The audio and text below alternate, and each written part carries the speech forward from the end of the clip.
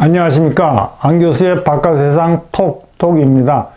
대만 총통 선거 결과가 나왔습니다. 민진당 후보 라이칭더가 승리했습니다. 40% 득표를 했고요. 그리고 2위인 국민당의 허유희 후보가 33% 득표를 했습니다. 이거는 약간 예상 밖입니다. 작년 말에 대만에서 이렇게 포를 할때 어, 1등하고 2등이 2 내지 3%포인트 차로 5차 범위 내에서 초접전을 했습니다. 쉽게 말하면 라이칭더 후보하고 국민당 허유 후보가 거의 뭐 누가 이길지 모를 정도였는데 딱 이제 대만의 법에 의하면 작년 연말까지만 여론조사 결과를 발표하고 아, 금년 1월 1일부터는 발표를 못하게 했대요. 그런데 열흘 사이에 뭔가 커다란 변화가 일어났고 7%포인트 차이로 확 그냥 민당 라이창더 후보가 아, 승리한 겁니다. 근데 이번 대만 총통 선거의 최대 이변은 커원저 돌풍이 됩니다. 커원저 민중당 후보가 처음에 나타날 때는 별거 아니고 한 17% 정도 득표할 거라고 예상했는데 헐 까 보니까 26%이 득표를 한 거예요.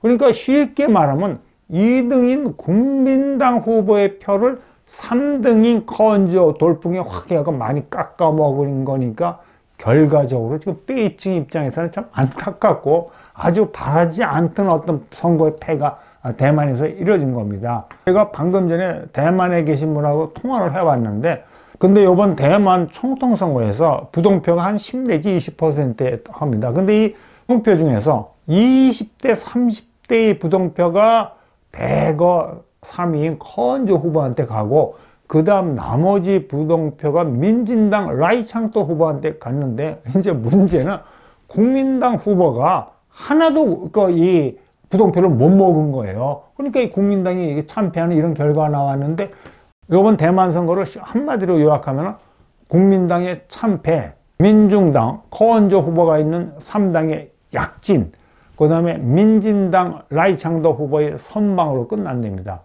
왜 이렇게 국민당이 이렇게 막 죽을 썼냐니까요. 대만 유권자가 변하고 세상이 변했는데 국민당이 내건 슬로건은 쉽게 말하면 낡은 옷, 낡아 빠진 옛날 재탕 삼당 해봤던 정치 슬로건은 그냥 나왔대요. 내용이 뭐냐면 야 우리가 대만을 독립을 하면은 전쟁이나 전쟁 중국하고 좋은 관계를 유지해야지만 우리가 이렇게 뭐 편안하게 살 수 있어 이런 얘기를 했는데 이런 문제에 대해서 특히 대만의 20대, 30대 그 유권자들은 관심이 없대요. 무슨 뭐 양안 문제고 무슨 중국하고 전쟁하고 무슨 소리 하는 거야. 경제가 중요하고 내가 지금 대학 졸업하면 일자리가 중요하지 이런 식으로 대만의 유권자는 변했는데 국민당이 이렇게 낡은 옷 갖고 했는데 여기에 비해서 커원조 후보가 중, 중국의 젊은 층을 확 파고들었답니다. 그래서 이제 예상외로 많은 득표를 했고 그 다음에 이제 그 국민당 후보로 나온 허유 후보는 그 신베이시는 이제 타이베이시는 우리나라 강북처럼 이제 전통적이시고 신베이시가 이제 우리나라 강남처럼 새로운 시 인데 거기에 이제 시작을 했는데 이 양반의 출신이 경찰청장 출신이래요. 그리고 이제 대만의 젊은 층이 이렇게 뭐 술 한잔 먹으면은 거의 후보를 뭐 이렇게 약간 이렇게 비하하는 이렇게 비하하는 뭐 XX 그런 이야기도 많이 한달 정도로 이렇게 막 카리스마로 이렇게 대만의 젊은 층한테 어필을 못한 것 같아요.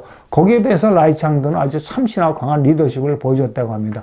자, 그래고 이제 이거 창의원 총통에 이어서 민주당이 3년임을 했는데, 이제 제가 이거 대만 총통 결과 선거를 보고 제일 처음에 생각난 것, 참, 빼집도 그 사람이 노력 많이 했거든요. 정치 공작이라는 게 뭐, 대만의 사이버 심리전 여러 가지 많이 했는데, 요번 선거를 까보니까 하나도 안 통했어요. 저는 솔직히 말해서 베이징이 정치 공작을 해갖고 선거 한 3, 4일 전에 제2당 후보하고 제3당 후보가 딱 연합할 줄 알았어요. 그러면 완전히 그 반중 친미 민당 후보를 밀어내고 뭐 베이징이 원하는 후, 후보가 대만 총통이 되는데 이게 하나도 안 당한 거예요. 하나도 베이징 심리전이. 그리고 또 베이징도 노력 많이 했어요. 대만은 부재자 투표하고 사전 투표가 없답니다. 그래서 해외에 나가 있는 대만의 그 시민이 투표하려면 다 귀국을 해야 된대요.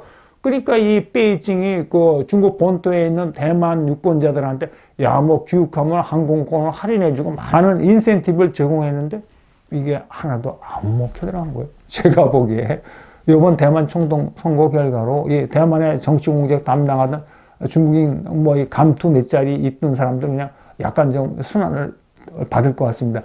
비슷한 얘가 이 러시아가 이렇게 우크라이나 확 들어갔잖아요. 처음에 한 며칠 만에 우크라이나 먹을 줄인데 죽을 쓰니까 푸틴이 열받은 거예요. 왜냐면 들어가기 전에 이제 그 이 우크라이나에서 정치 공작을 했거든요. 이 러시아의 아, 국가 이 정보기관이 어, 이 여론조사에 하면 30%가 친러 성향이, 성향이었답니다. 이런 사람을 어떻게 해갖고 이렇게 하려고 그랬는데 이게 하나도 젤렌스키가 확 들고 나한테 하나도 안 통하니까 푸틴이 열받았고 외신에 보면 그 정보기관 책임자들이 막 처벌받고 그랬는데 아 베이징에서도 무슨 일이 좀 있을 것 같아요. 두 번째 이건 굉장히 중요한 문제. 대만 국민이 뭐 양안 관계고 뭐 One China policy 그런 거보다는 freedom 자유하고 경제적인 번영을 이번 선거에서 선택한 것 같아요. 2000년대 초, 한 20년 전이죠. 제가 대만을 가면 대만의 지식인이나 돈이 있는 사람들은 저한테 뭐라고 얘기하냐면 뭐 이걸 자랑스럽게 비슷해요. 상하이에 집 하나 사놓고 자기 자식들은 베이징 대학이나 후단 대학, 명문 대학에 보낸다. 그리고 나 자기 중국 주식만 해서 중국 많이 투자하고 있다. 이렇게 생각한 게 뭐냐면 20년 전에는 대만 사람들은 중국에 대해서 아무런 거부 반응이 없었던 거예요. 왜 그러냐면 어, 덩샤병 장점이 후진다오는 그냥 이렇게 공산당의 간판은 저쪽 언덕 뒤에다 숨겨놓고 중국 국민, 인민들을 보고 열심히 잘 먹고 살려고 그래갖고 경제 활동하고 뭐 이런데 아무런 개입을 안 했었거든요. 그리고 대만 사람들은 뭐 완차이나 폴리시에서 언제고 이제 중국하고 합쳐주고 중국은 그 당시에도 연 10% 이상 고도 성장했으니까 아니 뭐 이렇게 홀홀 나는 아, 드래곤 차이나 드래곤 올라타면 우리도 경제적으로 좋아질 거라고 생각을 했었는데 그게 20년 전이죠. 근데 20년 지나고 지금 상황이 완전히 바뀌 끼워졌죠. 그리고 대만 국민이 확 돌아선 게 뭐냐면 홍콩 보안법 보고 야 이렇게 보니까 그 홍콩에 과거에는 자유가 있었는데 어 이거 베이징이 홍콩 보안법을 민길더니 뭐 반중 민주화 투쟁하는 이런 사람들이 막 이렇게 이 제재를 받으니까 야 이게 남의 일이 아니네 자유가 중요하네 그 다음에 경제적인 번영.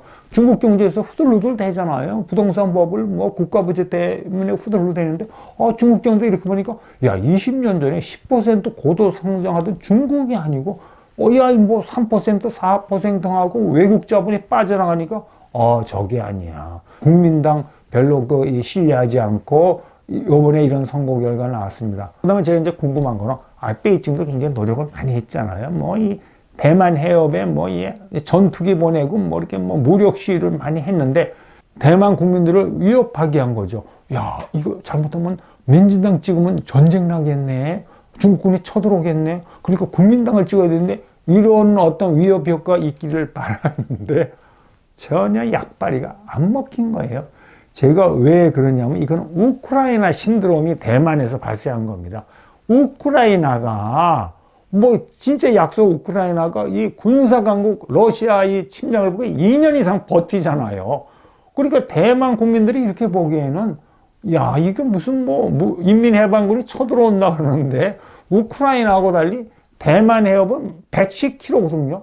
바다가 있고 그다음 미국하고 일본이 씩씩대면서 도와주겠다 그러고 군사적으로 전폭적으로 지원해 주겠다 그러고 뭐 호주까지 도와주겠다 그러니까 별로 제가 이 대만에 계신 분하고 통화 한 번에 하면 대만 사람들이 이렇게 물어보면 뭐 약간 불안해하긴데 뭐, 어, 중국이 쳐들어오는데 벌벌 떨면서 국민당 찍을 그런 그 상황이 아니게 바로 이 우크라이나 신드롬 때문에 그런다는 겁니다. 그럼 여러분한테 대만 총통 선거에 대한 속보를 보내드렸고 이제 우리가 궁금한 거는 야 그럼 베이징이 어떻게 반응하냐 이겁니다. 이거는 다음번에 여러분한테 말씀드리겠습니다.